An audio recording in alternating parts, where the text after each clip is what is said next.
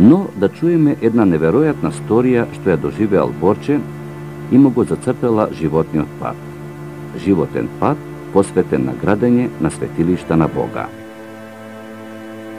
Али после известно време доди Божјата милост преко ноќ, доди Света Мајка Богородица и вика Чедо, вие ме познаате?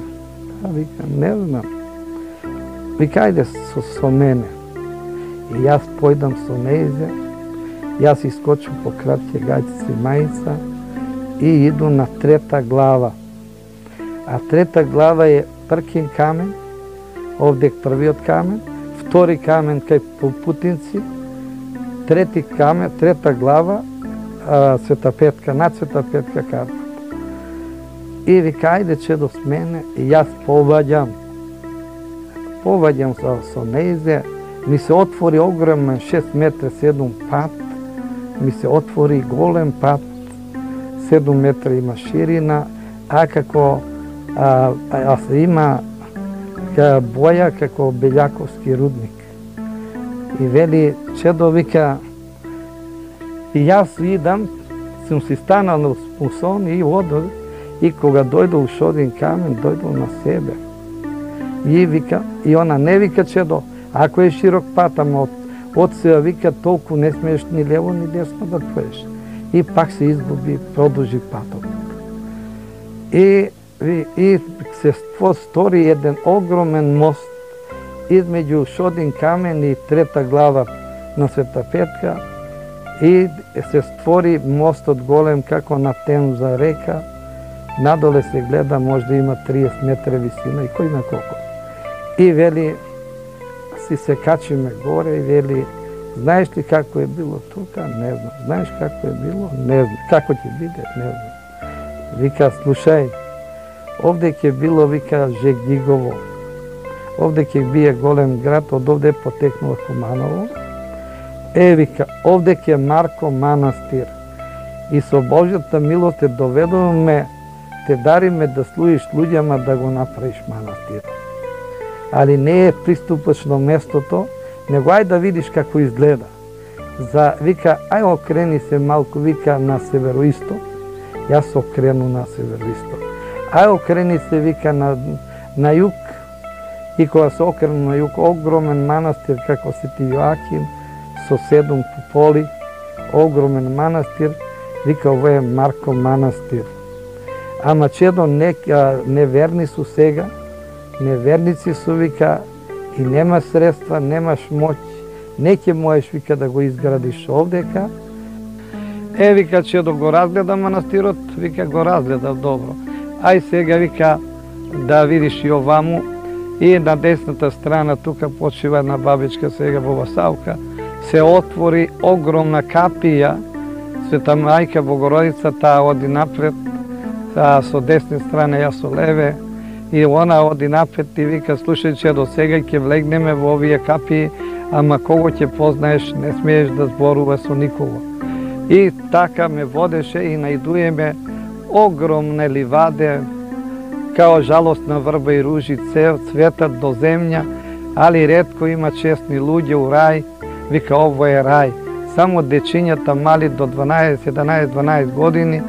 И вика, а, знаеш ли го братот ти, викаш? а он брат ми починал у 15 години, викам, не га знам, викам, е, вика, еве га братот ти, вика, он носи такој на брич панталон од клашње, шарена кошуља, ткаена со коц, на коцки и мастен у орашки жута фанела како каваста и така и тремче капа, руса коса, тој ти е брат во Исловика и така со Божјата милост видели тоа видов.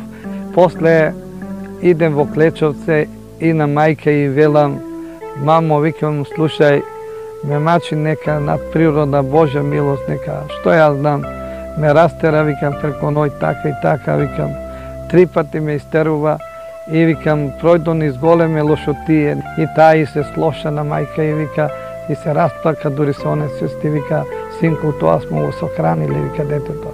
И така а, се сите потреби, и мајката се потреси, ја, и така со Божјата мило, значи, Тоа тачно било како било детето на тој време, сахранено у тој, у тој го видов. Кога ја дојдов на себе, тогаш имаше, секоја куќа имаше по 10, 15, 50, 100 овци. Веќе дан и ноќ се развива ден. Тоа беше 17 јуни. Леле, кај од кај да одам, што да правам.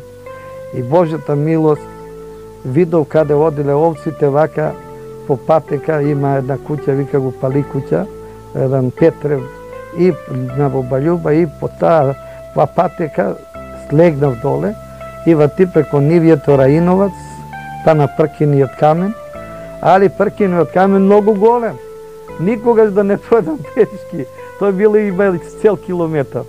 И со Божјата милост пројдов на пркин камен, и слазам овде код пркиниот камен, на кај Богородица сега што е, и ме сретиња еден чичко Арсо, Бог да му душу прости, да му е жива и здрава фамилија, си пошел на нивија детелина да си тера со пола Лондри и коња си врзал за Лондри, си оди по пат и вика, бре, чедо, кај одиш ти гол бос?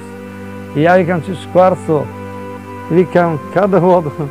А викам, лисица ми оде, викам, вана кокошки, па по потрча. Па нешто да си клавал на нозите, вика бе бос, како не те бацка каменчињата. Па рекна така, појдо викам, со Божјата милост појдо викам. И викам, па чудна работа. Дојдов дома, веќе сам нуе, ја легнаш, оно сум на прв, прв да ноќ, не втор ноќ, не трет ноќ, Света мајка Богородица пак дојде. Чедо, да, ајде со мене, вика. Али, јас ги врза вратата на првиот ден, да вечер ги врзав со Френкот, го врзав со желе, со кел и таа ми дојде, вика, Чедо, немој више овоа да ти се стреви, да станеш да ги одвреш вратата, оти јас може да ти стерам, вика, низ иглени врв, и вика, пак да те вратам, вика, низ 90 долари да те понесу, пак ќе те вратам, да станеш да ги одвреш вратата. Ја кога се разбуди, ги одврза вратата, више не заспа. Пројде трети ден, преко ноќ јас сум станал, пак ми извела мајка Богородица горе, куде е сега Богородица. И вика, Чедо, знаеш ли како е било дека? Не знам, знаеш ли како ќе биде? Не знам. Е, па бре, Чедо, вика, слушај, а, овдека е, вика, овдека е, вика, било храм направен, посветен, водом моја причестие, кога со се ја причестила. И се вика Пречеста Богородица во ведение, манастир, не е црква, вика манастир, градена е 998 1006, 1003, али конечно 1006. Али вика срушена 1567 година, али сега дојде време, вика, вие ќе служите луѓе, вика, и ќе ја подигнете Богородица, мојот храм ќе го подигнете, вика. Ај, вика, да видиш како е бил. Се окренувам на југ, таа голема црква со пет куполи и манастир и вика ај влези внатре влегувам натре два степеника мермерни олтарот од дуборе све направено дуборес. И вика чедо ти овоа не можеш ни трекина да направиш? Голема тврдјава. Тоа вика однесено вика од Турска вика еден дел у Цариград а еден дел у Измир. Тоа не може да се поврати али со Божја милост ќе служиш луѓе, вика, и ќе ја направиш до 1982 вика, ќе ја осветиш. Божја милост почна. Па немам пари не вика, ќе служиш луѓе. И со Божјата милост ја, Господ Бог, почна, значи, се ожени, вечиња, фала Богу. Работиме со жената, од 8 по 10 тона гројзе наваѓа сме. Кромит, жито, привреда, работиме, али пак луѓе служам. Али све што служам луѓе, прибирам пари, да ја направам црквата Света Богородица пречиста Богородение. И како што кажува, црквата Пресвета Богородица ја изградува во 1982 и покрај многуте проблеми. Каменот што го видел во своите доживувања меѓу сонот и јавето, навистина бил ископан од местото каде што се копале темелите на црквата.